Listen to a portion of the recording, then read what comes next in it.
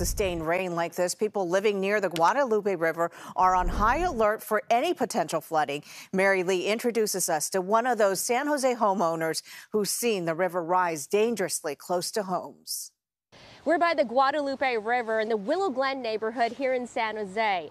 It's just 100 feet away from the Klein family's home, and you can bet they're keeping a close eye on the river during this strong storm. I was a little bit worried the electricity pretty hard, and then it, it started raining in the wind. When I moved in here 42 years ago, this was all just weeds. You could call Randy Klein the Guadalupe River Watcher.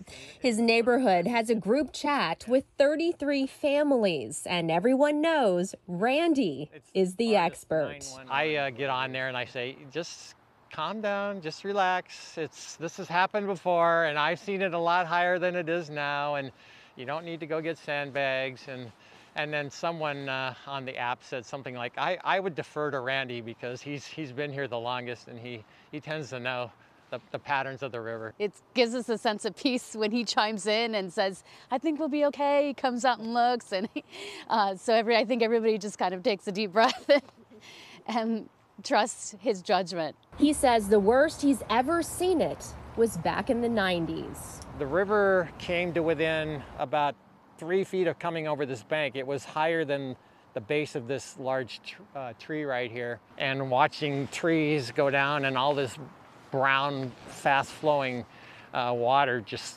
finding its way down to the bay. Randy comes to check on the river often. One thing he's seen over the years and knows all too well, nature is constantly changing. Randy appreciates the Guadalupe River's beauty and power. This comes from the mountains. It comes from the Santa Cruz Mountains and all the way out of like the Los Gatos area and Guadalupe Reservoir.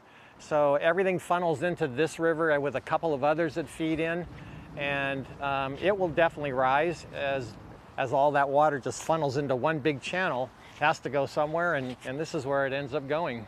At this point, thankfully, the Guadalupe River above Almaden Expressway does not look like it's going to come close to flood stage, but of course we will continue to monitor this situation in this storm.